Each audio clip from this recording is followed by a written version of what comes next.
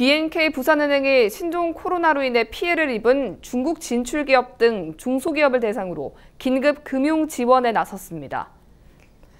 중국 당국이 춘절 연휴를 다음 달 2일까지로 연장하면서 금융시장 개장일이 다음 달 3일로 늦춰졌는데 이에 따라 현지 진출 기업이 납품 대금 결제 지연 등으로 자금 조달에 어려움을 겪고 있는 것으로 알려졌습니다. 부산은행은 수출 대금 결제 지연 사태에 대비해 수출한 어음 만기를 연장해주기로 했으며 부도 처리를 유예하고 입금 지연에 따른 이자도 면제할 방침입니다.